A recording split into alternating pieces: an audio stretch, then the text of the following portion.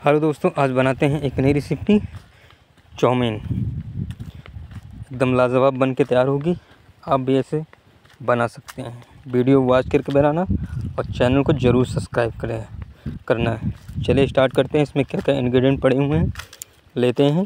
हरी soybean, इसको अच्छी तरह से चॉप कर लेते हैं बारीक बारीक उसके बाद में काटते हैं गाजर।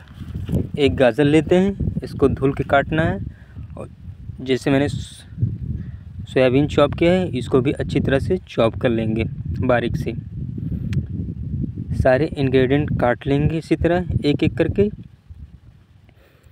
ज़्यादा पतली भी नहीं काटेंगे और न ज़्यादा मोटी काटेंगे।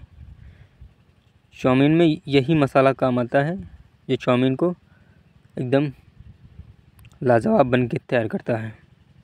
उसके बाद आप काटते हैं हरी मिर्च। दो हरी मिर्च काटेंगे। एकदम बारीक बारीक चक्कू की सहायता से इसे बारीक बारीक काट लेंगे। ऐसे ही मैं सारी इंग्रेडिएंट को काट दूँगा। जितने भी इंग्रेडिएंट्स में पड़ेंगे अभी इसमें ऐड करना है, प्याज भी काटना है। उसके बाद इसमें ऐड करना है, लहसुन भी काटना है, पत्ता गोभी भी काटना है। आप वीडियो में लास्ट बनकर देख सकते हैं इसमें क्या क्या एक बार ज़रूर ट्राई करना। बनाकर अब मैं लहसुन काट लूँगा। कम से कम छः सात कली हैं। इसको अच्छी तरह से बारीक बारीक काट लूँगा। उसके बाद क्या काटना है? उसके बाद एक काटना है प्याज। प्याज पहले से छुड़ा के रख लिया था। उसके बाद में इसको बारीक बारीक करके चॉप कर लेंगे। जो इंग्रेडिएंट की कटिंग बहुत इंपॉर्टेंट है। जो मैंने ये हरी वेजिटेबल्स हैं, इसकी कटिंग बहुत इम्पोर्टेंट है। जितना ही कटिंग अच्छा करेंगे, उतना भी अच्छा चाउमीन में स्वाद आएगा। उसके बाद में लेते हैं थोड़ा सा कैबेज मतलब पत्ता गोभी।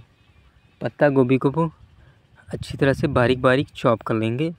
ज़्यादा नहीं काटेंगे, पत्ता गोभी, इसको थोड़ा ही काटेंगे। उसके बाद में चढ़ाते हैं कढ़ाई।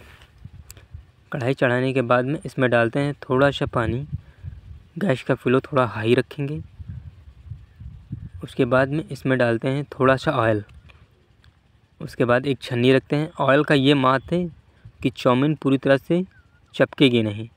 चाउमीन, कुछ चाउमीन हाफ़ बॉयल आती हैं, ये भी हाफ़ बॉयल है। इसको थोड़ा सा बॉयल करना है। एक जाली रख के सारी चाउमीन इसी में सर्व कर देंगे। जाली रखने का ये महत्व है कि जब चाउमीन पूरी तरह से उबल जाएगी तो पानी जितना रहेगा, वो नीचे चला जाएगा। लगभग मेरी चाउमीन पूरी तरह से बॉयल हो चुकी है। इसको ढक देंगे पाँच मिनट के लिए, उसके बाद उठा लेंगे। उसके बाद देखते हैं। चाउमीन एक उठा कर दिखाते हैं आपको। पूरी तरह से पक चुकी है। ये फूट भी जा रही है अच्छी तरह से। उसके बाद में एक प्लेट में इसे निकाल के रख देंगे। पानी पूरी तरह से गर जाएगा। नीचे पानी पूरा चला जाएगा। उसके बाद में ऊपर से मिलाते हैं एक टेबल स्पून ऑयल। ऑयल मिलाने के बाद चाउमीन को अच्छी तरह से मिक्स करेंगे। मिक्स करने के बाद इसे साइड में थोड़ी देर के लिए रख देंगे। उसके बाद चढ़ाते हैं कढ़ाई कढ़ाई में डालते हैं दो टेबल स्पून ऑयल उसके बाद इसमें तड़का लगाने के लिए छोड़ते हैं लहसुन दो तीन कली, उसके बाद हरी मिर्च छोड़ देंगे इसमें। हरी मिर्च डालने के बाद में इसमें डालते हैं थोड़ा सा प्याज।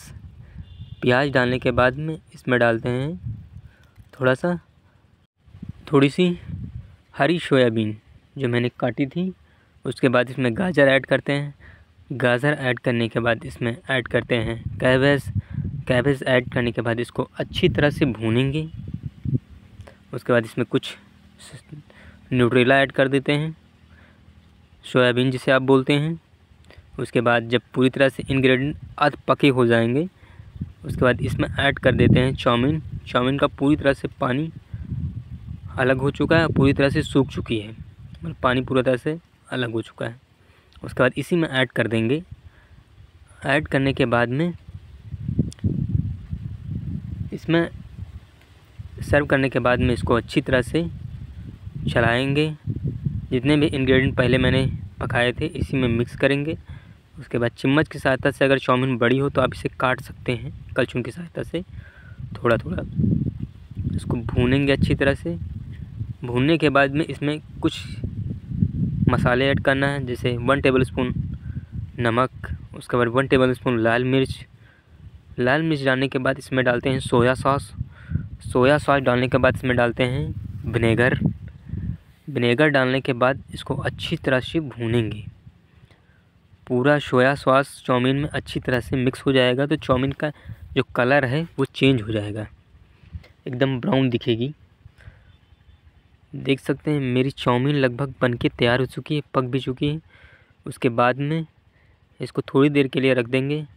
उसके बाद आप एक प्लेट में इसे सर्व करेंगे गर्मा गर्म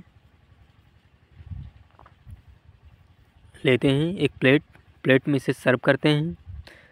देख सकते हैं, मेरी चाउमीन बनके तैयार हो चुकी है, लाजवाब। आप इसे ज़रूर ट्राई करना। एक बार वीडियो वॉच करके ट्राई करना, चैनल को सब्सक्राइब करना और वीडियो को लाइक करना। और दोस्तों में शेयर करना। उसके बाद में रखते हैं चम्मच कांटे वाला, ऊपर से डाल कैचअप देख सकते हैं, मेरी रेसिपी बनके तैयार हो चुकी है। आप भी ऐसे ज़रूर ट्राई करना बनाकर।